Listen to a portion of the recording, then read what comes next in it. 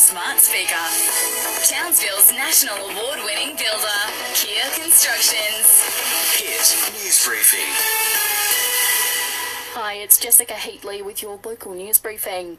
We're already seeing reports of COVID cases emerging in schools across Townsville less than a week into the new year.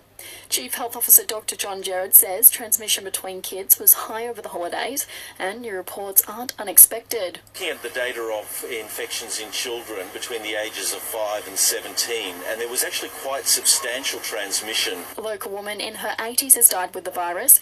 46 people are in Townsville HHS hospital. There are fresh reports that children are allegedly being placed back into care of abusive parents because of an unofficial policy. The bulletin revealed claims from a former child safety officer who details unnecessary reunification. Independent Advocacy North Queensland advocate Matt Clayton says the solution is simple put kids first. The ultimate goal is to leave the children where they are cared for. This isn't an issue of culture or colour, it is an issue of safety and well-being for the children. Advocates believe a microscope needs to be placed over the entire child safety sector. Thousands of dollars are being thrown at our region in a bid to manage flying fox populations.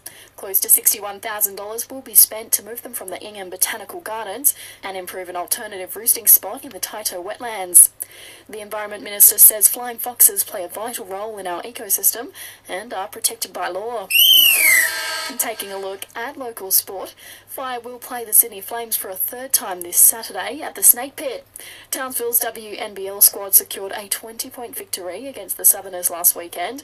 American import Monique Billings gathering 25 points in that game. Just trying to set the tone, I think that's going to be a big thing. And really just trying to get my teammates involved. Like, it's not just me. Like, I want my team to, I, we just, we got into a flow and a rhythm, and that's when I'm at my best. That's when we're all at our best. Billy speaking post game there. And to find out what's happening in Townsville this weekend, favourite the locals guide on the LiSTNR app. Introducing the Staria Load, Hyundai's new commercial van that fits in everything. And now it even comes loaded with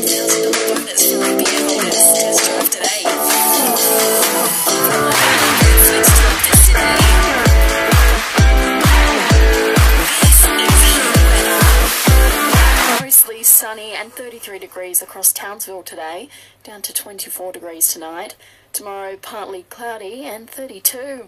Our LiSTNR app is the home of radio, podcast, music, and news. Join up to listen live or on demand now.